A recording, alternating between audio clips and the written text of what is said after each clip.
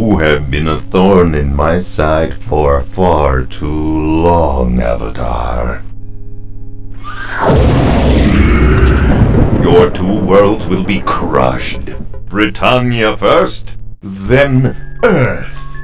I shall parade you before their conquered peoples as the fallen idol of a pathetic ideal.